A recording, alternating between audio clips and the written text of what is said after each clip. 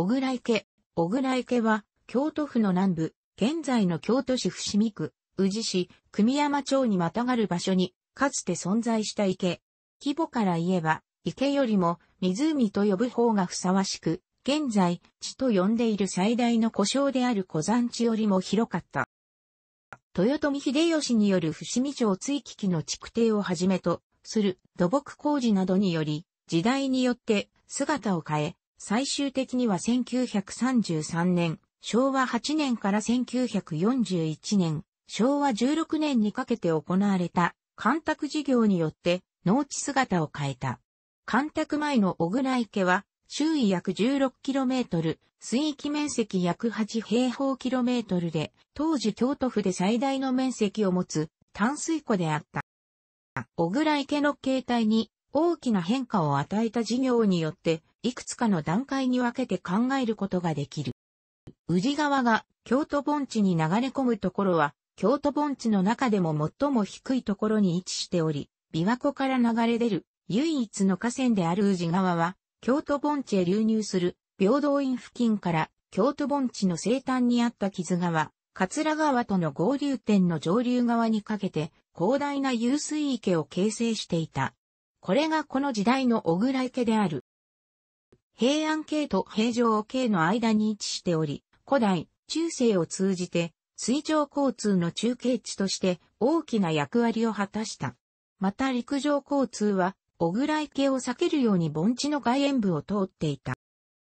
小倉池の北側には多くの島州が形成されていた。現在も残る牧島や向島や中所島などの地名はそれらが小倉池の水面に浮かぶ島々だったことに由来し、これらを一望にする、景勝地、四月の丘、現在の桃山丘陵南麓には、立花の都市綱によって、伏見山荘が営まれた。天下統一を果たした豊臣秀吉は、晩年伏見城を築城し、伏見に居を移した。それに伴い宇治川、小倉池に堤防を築き、河川改修を行った。代表的なものは以下の3件である。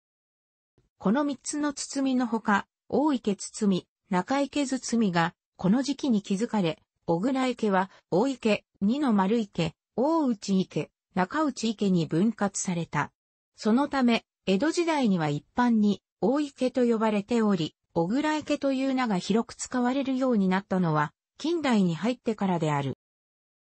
1868年、明治元年に木津川の堤防が決壊したことで、京都府は淀藩との共同事業によって木津川の宇治川との合流点を下流側に付け替えた。これは、木津川から小倉池に向けての洪水時の逆流を少なくすることになった。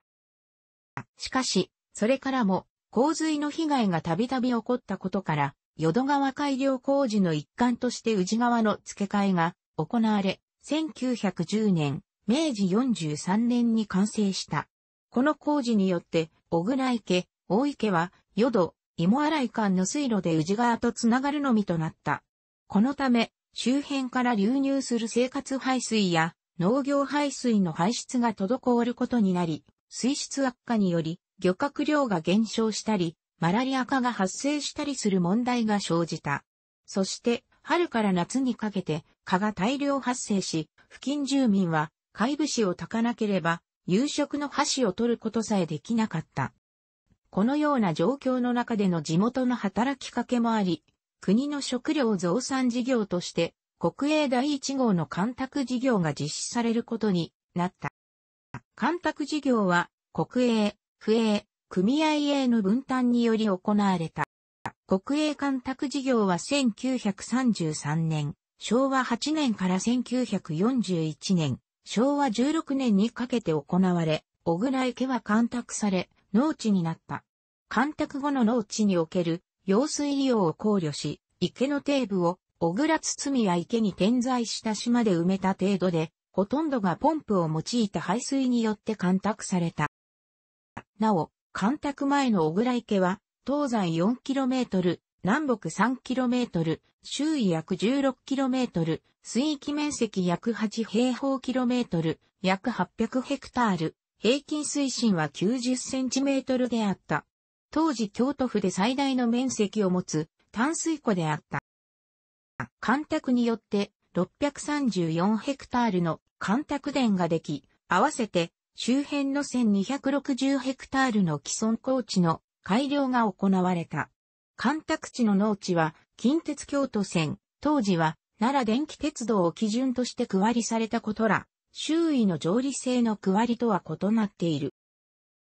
1953年の昭和28年台風第13号の大洪水で宇治川の堤防が決壊した。これにより、干拓前の小倉池全域を含む2880ヘクタールが浸水し、干拓地に小倉池が復活する災害が起こった。これを契機に天ヶ瀬ダムが作られ、1964年、昭和39年に完成した。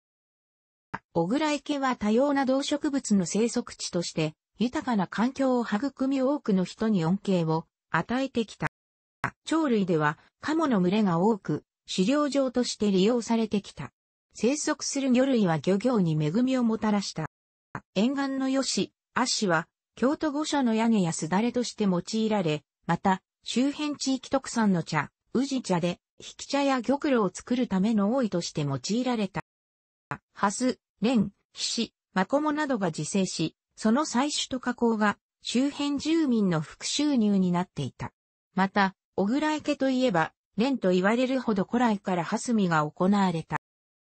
池には、食虫植物のムジナモが自生し、1921年、大正10年に、小倉池ムジナモ産地として天然記念物に指定された。しかし、干拓に伴い1940年、昭和15年に指定は取り消された。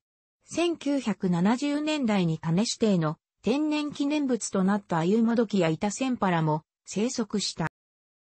小倉池にちなむ名前を持つ植物としては、オートリゲモ、革命、ナッチスオガーンシス、小倉候骨、小倉の房もがある。